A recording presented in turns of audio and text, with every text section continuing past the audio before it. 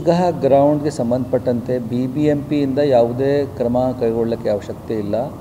ಅದನ್ನು ಕಂದಾಯ ಇಲಾಖೆಗೆ ಸೇರಿದೆ. ಆ ವಿಚಾರದಲ್ಲಿ, ಅಂದರೆ ಅದರಲ್ಲಿ ಏನು ಮಾಡಬೇಕು ಬಿಡಬೇಕು, ಕಂದಾಯ ಇಲಾಖೆ, ವಕ್ಫ್ ಬೋರ್ಡ್ ಇತ್ಯಾದಿಗೆ ಇರುವುದರಿಂದ ನಾವು ನಮ್ಮ ಬಿ ಬಿ ಎಂ ಪಿ ವತಿಯಿಂದ ಅದರ ಮೇಲೆ ಪ್ರತಿಕ್ರಿಯೆ ಮಾಡಲಿಕ್ಕೆ ಅವಶ್ಯಕತೆ ಇಲ್ಲ. ಅದು ರೆವೆನ್ಯೂ ಡಿಪಾರ್ಟ್ಮೆಂಟ್ಗೆ ತಾವು ಮಾತಾಡಬೇಕು. ಅದು ಸು, ಕೋರ್ಟ್ ಆದೇಶದ ಪ್ರಕಾರ ಯಾವ ಕ್ರಮ ಕೈಗೊಳ್ಳಬೇಕಾಗಿರುತ್ತದೆ they will take a decision. ಈಗ ಸೋ ಫಾರ್ ಎಸ್ ನಮ್ಮ ಬಿ ಬಿ ಎಂ ಪಿಗೆ ಸಂಬಂಧಪಟ್ಟಂಥ ವಿಚಾರಗಳು ಇವೆ. ನಾವು ಪ್ರತಿ ವಾರ ನಮ್ಮ ಎಲ್ಲ ಝೋನಲ್ ಕಮಿಷನರ್ಸ್ ಮತ್ತು ಚೀಫ್ ಇಂಜಿನಿಯರ್ಸೊಂದಿಗೆ ಸಭೆ ಮಾಡಿಕೊಳ್ಳುತ್ತೇವೆ. ಇಂದಿನ ಸಭೆಯಲ್ಲಿ, ಹೋದ ಸಭೆಯಲ್ಲಿ ನಾವು ತೆಗೆದುಕೊಂಡಿರುವ ತೀರ್ಮಾನದಂತೆ ಏನೇನು ಅನುಪಾಲನೆ ಆಗಿದೆ ಅದು ನೋಡ್ತೇವೆ. ಮತ್ತು ಇನ್ನು ಮುಂದಿನ ವಾರ ಏನು ಕ, ಏನು ಸಿದ್ಧತೆ ಮಾಡಬೇಕು ಅದು ಡಿಸ್ಕಸ್ ಆಗ್ತದೆ. ನಾವು ರೆವೆನ್ಯೂ ಮೇಲೆ ಜಾಸ್ತಿ ಗಮನ ಕೊಡಬೇಕು ಅಂತ ನಿನ್ನೆ ಲಾಸ್ಟ್ ಎರಡು ಎರಡು ವಾರದಲ್ಲಿ ಅದರ ಮೇಲೆ ಜಾಸ್ತಿ ಗಮನ ಕೊಡ್ತಾ ಇದ್ದೇವೆ. ಹೊಸ ಟಾರ್ಗೆಟ್ಗಳನ್ನು ಪ್ರತಿಯೊಂದು ಝೋನ್ಗೆ ನೀಡಲಾಗಿದೆ. ಹೋದ ವರ್ಷದ ಟಾರ್ಗೆಟಿಂದ ಐವತ್ತು ಪರ್ಸೆಂಟ್ ಜಾಸ್ತಿ ಇದೆ. ಐವತ್ತಕ್ಕಿಂತ ಜಾಸ್ತಿನೇ ನಾವು, ಅದಕ್ಕಿಂತ ಜಾಸ್ತಿನೇ ನಾವು ಹೋಗ್ಬೋದು. ಬಟ್ ನಾವು ಫಸ್ಟ್ ಐವತ್ತು ಪರ್ಸೆಂಟ್ ಜಾಸ್ತಿ ಟಾರ್ಗೆಟ್ ಹೋದ ವರ್ಷ ನಾವು ಮೂರು ಸಾವಿರ ಮುನ್ನೂರು ಕೋಟಿಯನ್ನು ಕಲೆಕ್ಟ್ ಮಾಡಿದ್ದೀವಿ. ಈ ಸಲ ನಾಲ್ಕು ಸಾವಿರ ಐದುನೂರ ಅರವತ್ತೇಳು ಕೋಟಿಗೆ ನಮ್ಮ ಟಾರ್ಗೆಟ್ ಇದೆ. ಅದು ಪ್ರತಿಯೊಂದು ಮಾಹೆಯಲ್ಲಿ, ಪ್ರತಿಯೊಂದು ವಾರದಲ್ಲಿ ಯಾರ್ಯಾರಿಗೆ ಎಷ್ಟು ಬರುತ್ತೆ ಆ ಪ್ರಕಾರ ನಾವು ವಿಂಗಡಣೆ ಮಾಡಿದ್ದೀವಿ. ಸೊ ಅದರಂತೆ ರಿವ್ಯೂ ಮಾಡ್ಕೊಳ್ತಾ ಇದ್ದೀವಿ.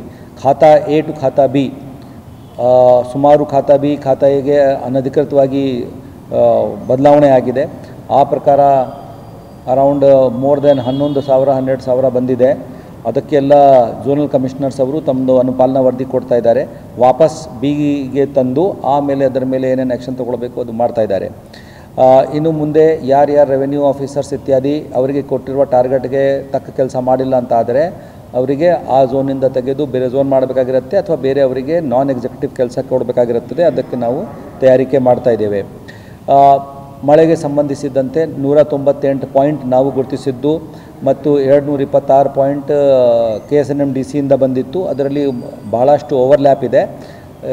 K S N M D C ಕೊಟ್ಟಿರುವುದು area ಇವರು ಕೊಟ್ಟಿರುವುದು ಪಾಯಿಂಟ್ ಯಾವ ಪಾಯಿಂಟ್ನಲ್ಲಿ ಪ್ರಾಬ್ಲಮ್ ಇದೆ? ಆ ಪಾಯಿಂಟಿಂದ ಎರಡು ಮೂರು ಜಾಗಕ್ಕೂ ತೊಂದರೆ ಉಂಟಾಗ್ತಿರ್ಬೋದು ಹೀಗಾಗಿ ಅದೆಲ್ಲ ನಾವು ಒಂದ್ಸಲ ನಾವು ಕೂಡ ಚೆಕ್ ಮಾಡ್ಕೊಂಡಿದ್ದೀವಿ.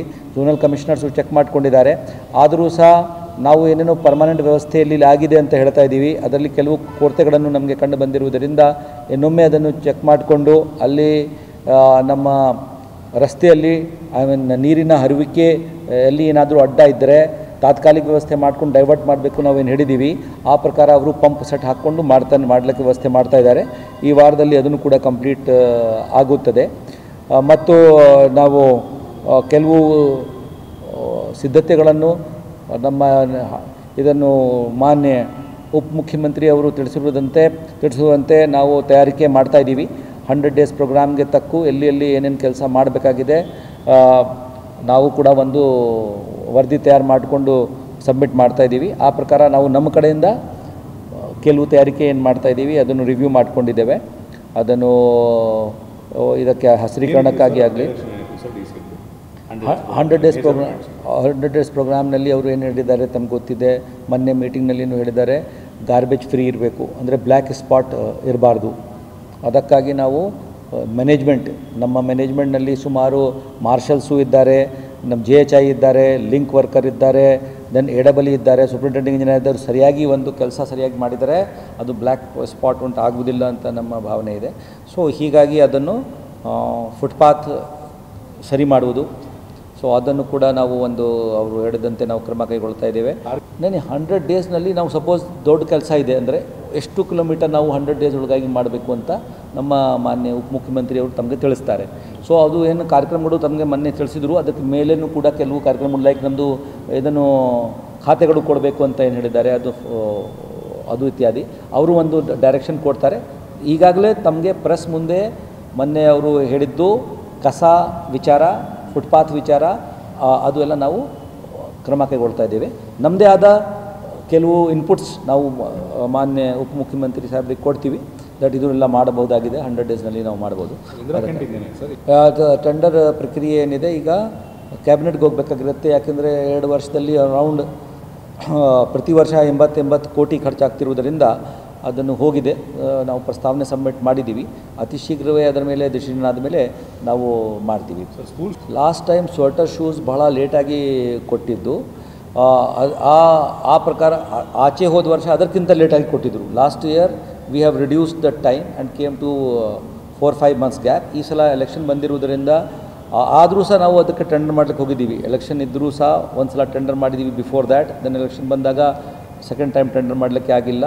ಅದರಲ್ಲಿ ಈಗ ನಾವು ಫೋರ್ ಜಿ ಎಕ್ಸಾಮ್ಷನ್ ತಗೊಳ್ತಾ ಇದ್ದೀವಿ ಲಿಡ್ಕರ್ಗೆ ಯಾಕೆಂದರೆ ಎರಡು ಸಲನೂ ಕೂಡ ಯಾರೂ ಬಂದಿಲ್ಲ ಅರ್ಹರಾಗಿಲ್ಲ. ಸೊ ಈಗ ಫೋರ್ ಜಿ ಎಕ್ಸಾಮ್ಷನ್ ಬಂದರೆ ಅವ್ರಿಗೆ ಕೊಡ್ತೀವಿ. ಯಾವಾಗ ಯಾವಾಗ ಸಿಗ್ಬೋದು ಸರ್? ಪ್ರಾಬ್ಲಿ ಸಿಗತ್ತೆ. ಈ ತಿಂಗಳಲ್ಲಿ ಸಿಗತ್ತೆ. ಮತ್ತು ಈಗ ಸ್ಟೂಡೆಂಟ್ಸ್ದು ಅಡ್ಮಿಷನ್ ಈಗ ಆಗ್ತಿರುವುದರಿಂದ ಅವ್ರದ್ದು ಏನೊಮ್ಮೆ ಸೈಜ್ ಗೀಸ್ ಏನೊಮ್ಮೆ ಪಡೆಯಬೇಕಾಗಿರುತ್ತದೆ. ಸೊ ಹೋದ ವರ್ಷಕ್ಕಿಂತ ಈ ವರ್ಷ ಇನ್ನೂ ಬೇಗನೆ ಕೊಡ್ತೀವಿ. ಈಗ ನಮ್ಮ ಪ್ರಕಾರ ಫ್ಲೆಕ್ಸ್ ಆ್ಯಂಡ್ ಬ್ಯಾನರ್ಸು ಪರ್ಮಿಷನ್ ಕೊಡ್ಲಿಕ್ಕೂ ಬರುವುದಿಲ್ಲ. ಹೀಗಾಗಿ ಆ ಇದಕ್ಕೆ ಎಷ್ಟು ಪರ್ಮಿಷನ್ ಕೊಟ್ಟಿದ್ದೀನಿ ನೀವು ಏನು ವಿಚಾರ ಹೇಳಿದರೆ ಅದಕ್ಕೆ ನಮಗೆ ಉತ್ತರ ಕೊಡ್ಲಿಕ್ಕೆ ಬರುವುದಿಲ್ಲ. ಸೊ ಈಗ ಈಗಾಗಲೇ ಏನು ಹಾಕಿದ್ದಾರೆ ಅದು ನಾನು ಚೆಕ್ ಮಾಡಿಕೊಂಡು ತೆರವುಗೊಳಿಸ್ಲಿಕ್ಕೆ ಕ್ರಮ ಕೈಗೊಳ್ಳುತ್ತಾ ಇದ್ದೀವಿ. ಕ್ರಮಕ್ಕಿಂತ ಅದನ್ನು ನಾವು ಬ್ಯಾನರ್ಸ್ ಫ್ಲೆಕ್ಸ್ ಹಿಂದೆ ಹೇಗೆ ಮಾಡ್ತಾ ಬಂದಿದ್ದೀವಿ ತೆಗೆಯಲಿಕ್ಕೆ ಕ್ರಮ ಕೈಗೊಳ್ಳುತ್ತೇವೆ.